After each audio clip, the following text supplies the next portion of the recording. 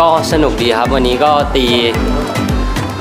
เสียก็ไม่มีแต่ว่าตีดีก็ไม่ค่อยมีเหมือนกันครับแต่ว่าลบห้าก็สกอร์ที่ค่อนข้างโอเคครับเคก็ก็มีนะครับว่าจริงๆแบบกลุ่มแรก ๆ ก็ตื่นตื่นเต้นเยอะอยู่ครับ เพราะว่าเครู้ว่ามันมันสำคัญแค่ไหนครับ เคว่าการที่จะแชมป์อะครับความยากก็ไม่ต่างกันมาก แต่ว่ามันจะต่างกันตรงตรง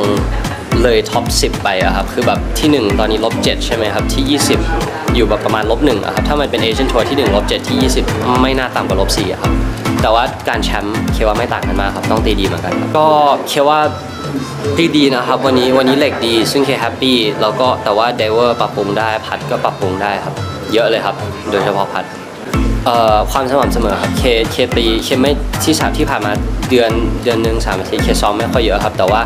มันสม่ำเสมอเหมือนว่าเหมือนแบบเคปรับอะไรในสวิงที่ให้ทำให้มันอยู่ตัวได้แล้วครับก็เค happy ตรงนั้นครับเพราะว่าอันนั้นมันไม่ใช่ดีแค่แบบนี้มันจะดีไปทั้งชีวิตอะครับถ้าเคสามารถเก็บตรงนั้นได้ครับอู้หลายอย่างครับเคว่า putt แหละครับวันนี้ putt มันมันไม่ได้แย่แต่มันควรได้ดีกว่านี้ครับหลายครั้งเคว่า speed เคมันไม่ไม่ค่อยแม่นเท่าไหร่ครับ stroke พ่อบอกก็ไม่ค่อยไม่เหมือนแบบ ปกติเคเป็นคน putt ลูกตรงมากใช่ไหมครับ แต่ว่าวันนี้น่าจะน่าจะมีไม่ค่อยตรงเลยแหละครับ putt ใกล้ๆเคมีทั้งทั้งเปิดทั้งตกอยู่2 สามลูกเลยครับปึ๊บพรุ่งนี้เคอาจจะตีเกินหนึ่งหรือเกิน 2 หรือไม่ดีก็ได้ เพราะว่าวันนี้ต่อให้ไม่มีอะไรดี แต่มันก็ไม่มีอะไรเสียพรุ่งนี้เคก็คาดว่ามันไม่มันไม่น่าจะแบบแบบ flawless ขนาดนี้ครับเคว่าก็พยายามเสียให้น้อยครับพรุ่งนี้แต่ทำให้ได้มากกว่าวันนี้ครับครับขอบพระคุณครับ